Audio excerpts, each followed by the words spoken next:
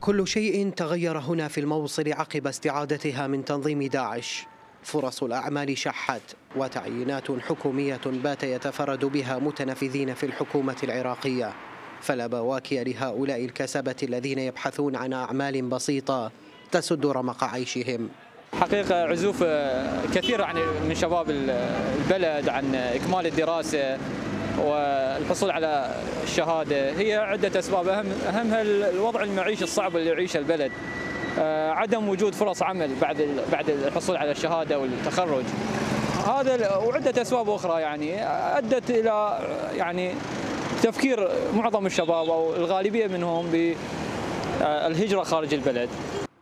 مهند شاب في العشرينيات من عمره. ترك مقعده الدراسي مبكرا والتحق بتعداد الكسبة الذين يبحثون عن رزق شحيح يؤمن متطلبات عائلته. يقول مهند لوان نيوز. أنا عاد عاد أشتغل تاكسي آه، لأن دعيش عائلتي. يعني ما عندي باب رزق ثاني. فإذا آه، أتمنى تجيني فرصة أنه إنه أطلع على الخارج أو شيء أمن مستقبلي وامن مستقبل عائلتي.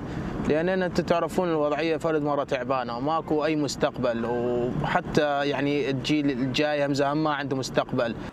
مئات الشباب باتوا يندرجون ضمن تعداد الكسبة والعاطلين عن العمل والبعض منهم بدأ يفضل الهجرة للدول الأوروبية. بعد التحرير العيشة صارت حيل صعبة. يعني أنا يعني في دراستي على مود الشغل. يعني ماكو لا تعيين لا عندنا يعني إمكانات نصرف عليها. يعني أنا عفت المدرسة على مود الشغل. يعني على مود الإيجارات حق المولده والله العظيم يعني أطلع من اذان الفجر إلى اذان المغرب يلا 15 يوميا. حتى 20000 ماكو يعني. ووفقا لإحصائيات المنظمات المحلية.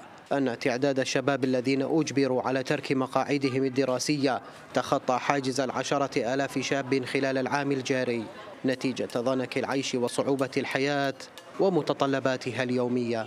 عمر الزيدوان نيوز الموصل.